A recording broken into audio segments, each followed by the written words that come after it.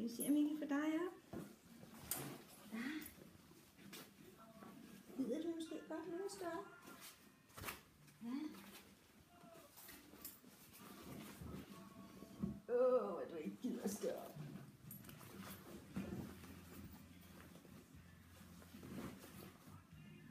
Du skal op, frøken. Du skal op. Du skal op. Du skal ned på en tur i mosen. Altså, frøken. Kom nu.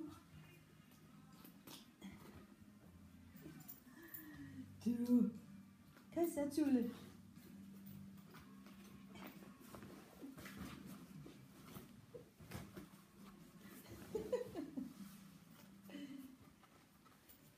Kom så, lille frøken. Jeg kan ikke snyde længere.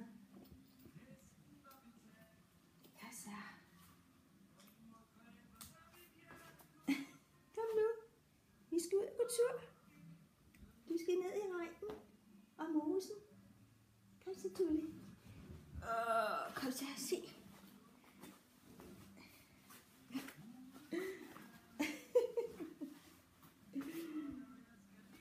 Du skal altså ud. Du kan ikke blive liggende der i sofaen hele